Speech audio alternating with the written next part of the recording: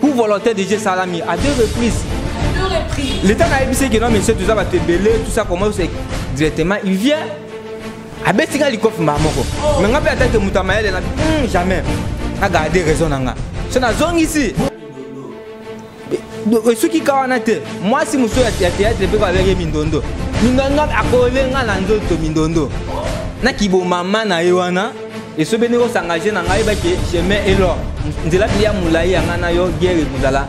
ya lelo ti lo toyeba makambo oyo yo omenase nga ta kutu exemple ya bien mpo nazala yango na motema ti lelo esobe place tozalaki kuna Azo se prétendre aza star et caméra abi nini wana besoin na sa site na bino succès na pesa yango succès succès nini yango esobe okopesa site na biso wa eloko te siko mpo tokota mpo tokota place nani artiste aja aobela directement toyomona eh, équipe moko ya baartiste comédien batelemeli losanjola mpo na teni na ye boyebi ke na los angeles alata toujours bafoto ya bato oyo ya soutenaka mais batelemeli ye bavie masumu de blende banani nyonso batelemeli ye kino avant kota kuna place moto wana abela il faut alongola nano eh, foto ya effigie ya nani ya, ya mwasi ya mokonzi ya mboka mama denise kisekedi il faut kaka alongola yango abi akokɔta te il faut kaka alongola yango toye na makambo ya politike awa te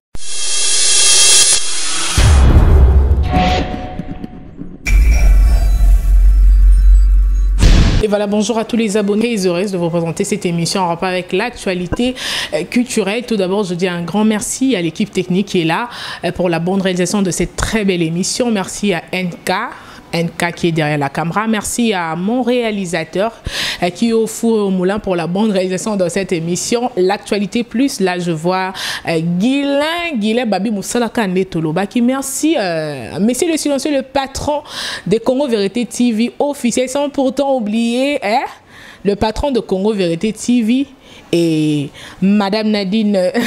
Madame Nadine Massidi, Balobi Moissia. Hein? Monsieur le silencieux, en tout cas, merci beaucoup. Actualité plus, tu as wana bandeko pona ko bete la bino makambo ezo leka. Na ratia mboka na biso.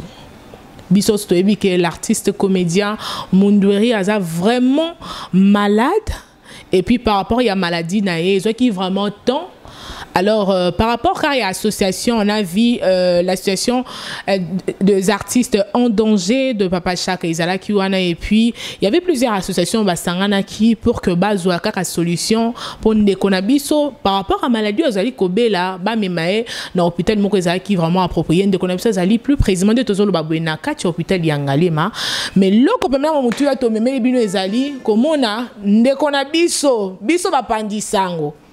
oyo toyaka wana mpo na koinforme koforme na kodivertire bino azalaki agresse à la personne de Anthony Longange nde naza ne sur ce plateau faut toyeba ebandaki ndenge nini ya komaki na place wana bonjour bonjour jamama bonjour aussi na batutu balanda biso à travers le monde entier mm -hmm. merci aussi na yo mpo na ndenge oyambi nga lelo voilà en tout cas vraiment lisolo epesi mpasi kotala presse ya mboka na biso nde eza bafoue je peux dire excusez-moi pour le terme mpo na likambo esalemaki hier Anthony Longange agressé par l'artiste comédien Isobe. Pourquoi Yokotagi na makambo Bah, Jael Matondo nako ye biso boyekina. Tu sais, na mon abiso ya ba journaliste, hein, ils allaient toujours accompagner ba artistes partout au Bauzala. Vu aussi que totala mpe intérêt ya nani artiste oyo aza malade aza artiste moko ya moindre te alors on nous a invité en tant que presse et qui ne couvrir activité na po to rendre mpe public dans les façons que mutu oyo akozala na bonne foi mpo aide artiste wana nde présence na biso ezalaki kuna juste mpo na couverture ya baactivité wana donc présence mais Aïka juste pour que beau beau beau beau beau couvrir bon, parce qu'il y avait deux artistes comédiens bazala kiwana alors euh, ebandaki ndenge nini l'artiste esobe kosimba yo na nzoto Bon, en fait, euh, ngai personnellement, particulièrement si Naza n'a problème, on a la dire soubété. Juste que non, j'ai été contacté par le vieux artiste d'Angers, Vichaka Congo. Avec non, Anthony, il y a une équipe nayo pour beaucoup couvrir activité parce qu'on travaille des fois ensemble avec euh, l'artiste en danger. Ndi yango biso tozalaki. Alors, kokoma sur terrain, euh, tokutaki un peu Vechaka Congo déjà en place ayambi biso très bien tozali déjà na kati quelque temps mpo ayebisi biso tobima libanda mpo euh, toyamba pca ya sokoda parce que ye mpe ifale aya wana nde sikoyo toye tout ça tokomi na, na, na portail chose grave toyokuta eh, directement tout d'abord pca ale akoti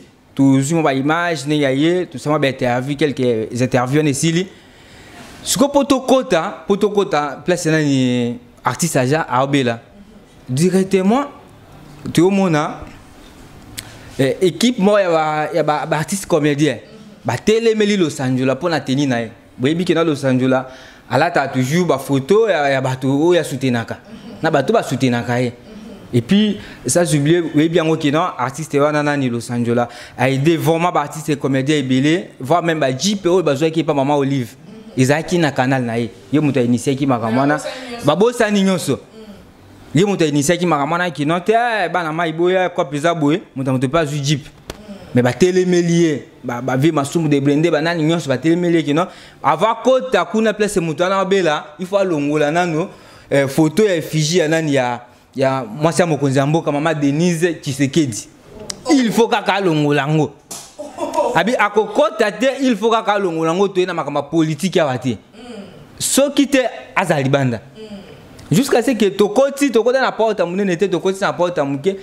viva na faufile akoti na ye na nzela mosusu ka mpo ase retrouve kuna na kati tala degre ya ya motema mabe bacomédien baa nango bango na to tobeta mpe na liso seke bacomédien bango na bango bayokanaka te yango eza te bolingo eza te omoni lelo vie na biso tiaka kongo tokolo bango kina vie nazo ede baartiste ebele mingi oyebi ah oui aofingama parce que Euh, moto soki aosala malamu ekozala te kaka il faut kaka balobelaki kaka malamu déjà osi ntango baosalele bamakambo baolobele bakosele bamakambo esala osi promotion na ye alors euh, tokoti tosali mwa quelques activités mais kokoma juste na kati yebi ke nani esobe tout d'abord avaka tokota wana abundisi nani losanjolaka wana oh, devant tout le monde ose de tout le monde bato tu bamoni ezalaki baotourne pièce to yaya mpe na réalité eza nango théâtre te eza nango nini te eza réalité ke mhm. akokota te ifo alongola eloko wana basiliki balingi babunda baimage kutu toza nango wana j'espère ke non yango wana bomonani eleka babundisa ma los angeles ifoka alongola eloko wana tokomi na kati susu amenace esu babunda ayebisi los angeles akena te nakosi so carrière ndelo osengeli osala carrière na nini na baoyoka baoza kutu daya kutu biso to bato tolinga bainvestigation parce que naza artiste nani journaliste on a passé par IFASIC, je sais bah, normes journalistiques presque tout. Comment la cause de l'information, même ceux qui baboient. mais nazalaki na tie audio naza na baaudio oyo euh, esobe azomenase losanjola ya congo vérité tv baoyoka yango apena ya congo vérité tv en tout cas baoyoka makambo nde sikoyo tobima avant tobima kutu esobe alobi keno te baimage oyo nazwaki ele baobunda wana soki nameki olekisa yango nakomona de quel bois ye ashofaka ngabi ah navandi kimia arapele nga deux fois lesko tobima libanda arapele nga susu nayebisi kino monsieur soyons quand même sérieux bato ebele oyo baza bapapa verkis baza bavie na biso tiaka kongo baza bavie de blende masumu baza donc bango bakokameke kolanda bango te landaka yo yo oza nani d'abord ye ayebaki te kaza célébrité une célébrité n'a pas une vie euh, privée ye ayebaki te voilà donc tout d'abord mpo toyebisa bino kino motu wana bomonaka ye so esobe wana nga lelo na ye kotelemela esobe esobe yeba yango ke motu osangage na ye osangage na motu moko kino alembaka te nga no tokokende ti na suka parce que oyebi ke obula c'est comme si eh, bandeko neti ya internet oyo basalaka mosala bien te kino okosala ye watiki non je suis bien formé epuis nayebi balwa na nga tokokenda o ti na suka donc na minute oyo Euh, bavoka na nga déjà baza saisi na problème coup volontaire déjà esalami à deux reprises à deux reprises l'état nayebisi ke no monsieur toza bato ebele tout ça comment c'est directement il vient abeti nga likofi mbaa moko oh. me nga mpe atake moto ya mayele nabi mm, jamais na garde raison na nga so nazongisi esuki ka wana te mwasi mosusu ya théâtre mpe kabaki ye mindondo mindondo akolenga na nzoto mindondo oh. na kibomama na ye wana akoteli mutu na ye esobe yeno bango kokoma bazalaki ebele nganga moko ngaka na cameraman na nga nyonso wana baosala eza juste bakanda ya nani ya, ya, ya, ya, ya, ya veshaka congo ndenge eh, famille wana ya, ya, ya, ya mondweki bapesaki bango procuration ke ba ba ba initier pe makambo ko kino mutu ya moko mutu ya malama ko zala a aider famille wana parce que artiste wana aza pe na artiste wana aza aza mutu moko munene na mboka alors akoza bongo te nde conflit esika eza wana ti baosa makambo nyonso wana eza kaka kino baluka moye ya koafote vechaka congo na nani losanjola mais comme bato mibale bango bakotisi bino bajournaliste na oxygène mpe avocat pakoti makambo oxygène na avocat no azali oxygène azo agrese nga ye moto asalaka nini teyate mwa soki ekombo nango nini parce que nazala vraiment eh, soki tribunal soki nini wana mais c'est le droit monsieur okoti na makambo oyo keno ekodiminue yo comment yoko permettre yo ataki avocat okopesa nde moto ya conseil keno te papa opekisi ye Mais ozo permettre ba simba mutu na nzoto et puis mutu yango aza mutu papa mbati aza journaliste mutu aye ko rendre compte na makambo eleki mpo ameka mpe koyebisa bato à travers nga mutu ya bonne fois mpe akozala komonana et puis aide mutu wana nayaki kosala plaisir te nayaki kosala kaka mosala nayaki teke naluka succès parce que soki nayaki na besoin na yo esobe nalingaki nabenga yo nayamba yo mais comme yo kutaki nga kuna c'est à dire nayelaki yo te donc oza mpe na droit ya komenase nga te donc ntongo omenase nga déjà c'est à dire oza na problème particulier na nga nde ndenge eza na abongama déjà nga na yo ti na suka esobe eh, journaliste eh, masa na nga jael matondo moto na nga ya kati naosignale oke okay. esobe abeti nga deux fois à, à 10 mètres na bamura mm. à 10 mètres na bamura atalaka euh, euh, nini porte ya, ya monene ya, ya, ya ngalema nde ezalaka il y a des taximens, il y a des gens qui, qui vendent. Bah, tu es belé, belé, bazana. Donc, et sobe, ayo qui ata son yuanate. Il vient, il me suit, il m'insulte même maman na yo. esobe merci te mama na yo Donc, voilà voilà moto oyo bomoni soki star ya lobi esobe aza star ya ba ya ba winner ya mwa ba biloko asa asalaka wana mais pa na ngai esobe oza eloko te abeti nga makofi deux fois soki tembe bato bazalaki ana ebele ba papa na biso kuto respecte ba papa de blende masumu ba vie na biso mbalio sombo bazalaki wana ba vie mbalio sombo nde bakokangisa nga parce que nakoma mpe daya kosilika non après tout natali que non non je suis aussi un homme je peux aussi me, me défendre comment ils se bakosa bayebisi nga non petit calme toi tu as raison calme toi nde na se calme en tant que moto ya mayele nako agi ndenge moko te na ye esobe parce que soki totali par rapport par rapport esobe aza mpe mwa mobulu mwa niveau ya chike eza mpe mwa mokuse nde raisonnement neza epe mwa mokuse me ngai comme na moto natangi classe nako age atobeti nga na kogarde raison na nga nde yango siko na bi bon bandeko na ngai après sepe nde bamonaki nde bokumu ya ya déjà mpo botuna so eza nini na remercie bino makasi juste kaka mpo nayebisa monde entier ki non j'ai été agressé par euh, par phénomène eladi esobe tout ça, tout ça parce que aza na besoin eloko eloko nayebi biso tout d'abord eza nini mm. esobe a parvenu ti ke non efiji foto ya mwasi ya mokonzi ya mboka eleka na tv te alingi soutien ya mokonzi ya mboka te bango moko basalaka maye na bango estce eza respect vraiment na biloko wana bato bazwi initiative ya bien ke non e, tosala eloko oyo tobenga presse eya mpo tosala eloko moko epe ya mwa bien mais yo ye otelemela ide wana donc euh, omona deja bato oyo baza na besoin sous développement ya mboka baza na besoin nini bango ba makambo esuka na niveau na yango mpo bayebi ke euh, comme durée ya papa wana munderi ya malade eza epema molai bango nde bakota makambo mpo bakoma bouffe balaa omona bon euh, nakotaki mpe na kati te parce que agression elekaki agression eleki ya pa moyen asala mosala comme il se doit mm. j'ai été arrêté là-bas parce que moyen akota su te baetation ezalaki su mpe su bien te alors esobi eloko asali na bango le président masumu que je sali mm. donc c'est un bon papa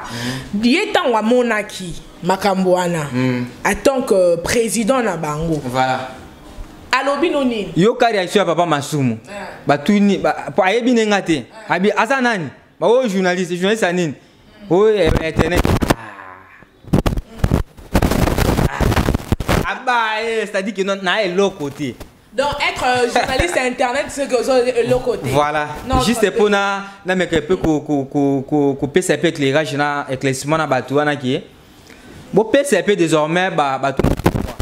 eza na bato mosusu baosala mosala par passion eza te ke aza incompétent non passion na ye tinde ke asala mosala epuis tosala mosala ya bien nafingaka motu te naosala mosala moko ya bien okina mokitambe ezondimaki na wi soki ya formation napesi ya formation soki nakoma pasio kitoko nalobaka mpe kitoko mai ntango naosala mosala wana eza mosala bazoba te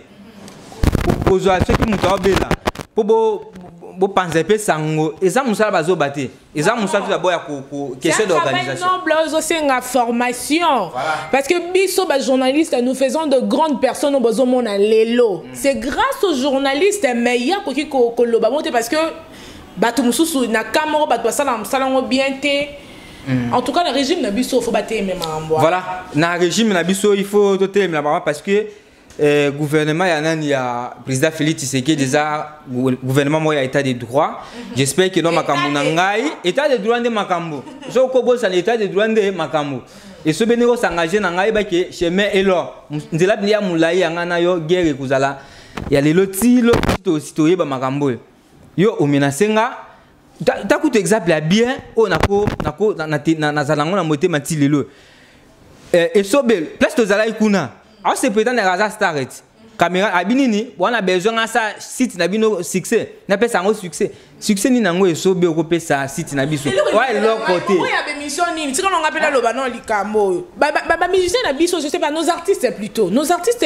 ils ont un défaut. Biso ba toyaka wana pour faire leur promotion, on n'est pas là pour tolanda mabo pesa biso mbongo. Siko ba boye la micro ni. Iso be alba ki non aya ko sala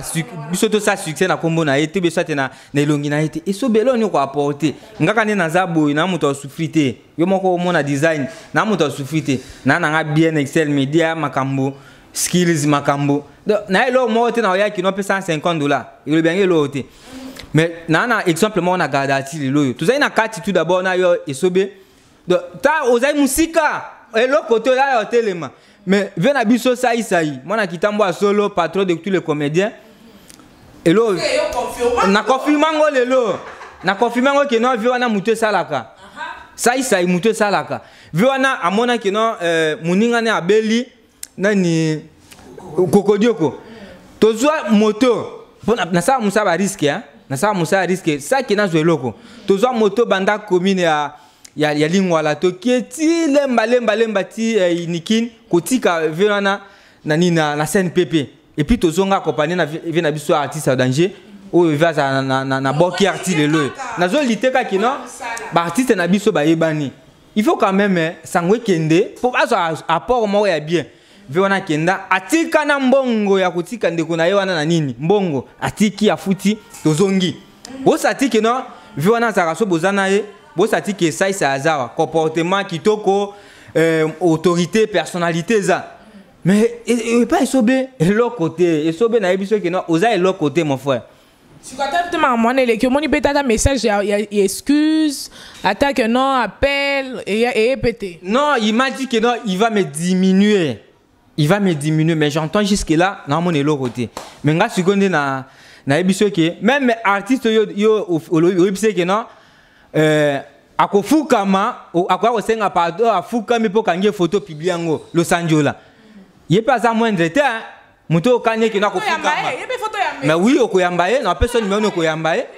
ayebi solo osanjolaki no okoya awa na kokanga bafoto kofukama na kokanga bafoto na publie mhm. akokana mo yabi akosise carrière nayebi te so akosise na, na butu be na moi parce que moto na moto asala mosala ndenge na ye lui il dépend pas de l'autre alors nayebi te soki na façon nini oyo akuza baavoka na nga deja baza saisi na problème oyo j'espère que non nazwa soutien ya bandeko tu ya libanda bandeko tu ya kati ya mboka bakolegi na nga bajournaliste ndenge deja bokomi koyaka koluka nga mpo botuna kote kondi elakisi deja soutien nini oyo boporte sur ngai Ah. Merci beaucoup en tout cas.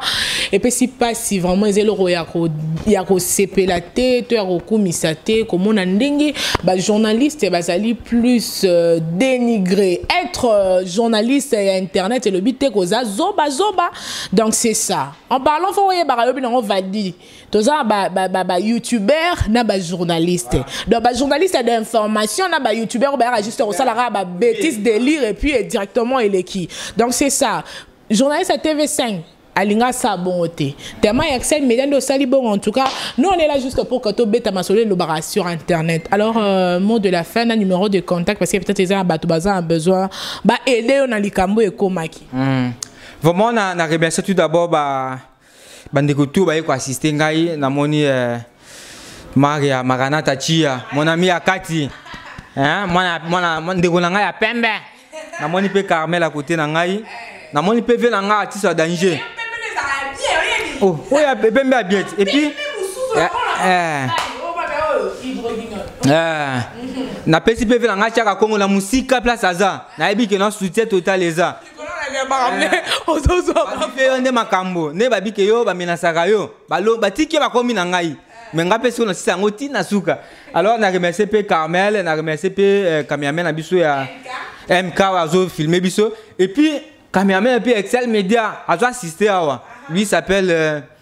Enoch Mbala, Enoch Mbala, la, la garçon play, bah, bien que Fabregas maestro, parce que bah, ça même morphologie. Garçon play pour gentillesse. Garçon play, gentillesse, c'est toujours kitoko. Bandeko tout, il y a, y a monde entier bola nanga na minute yo. Euh, bo soutenir ngai na makambo na kweli. Numéro. Ndeko alukaka humilier ngai. J'espère que non akoka soutenir. Bah tout tout bona besoin ba contacter nga. Euh, numéro nanga contact eza plus 243 0900 73 19 50 plus 243 0900 19 70 so bokomi ka wana directement bozwi nga na whatsapp na appel normal bozwa nga directement voilà merci beaucoup na bato nyonso bapesaki attention na bango vraiment mpona kolanda biso boyebaki sentiment esuki kaka te bilenge esuki kaka te parce que tozo continuer lisusu avec cet élément euh, oyo esalaki trouble entre le comédien ekoleka mpe kaka awa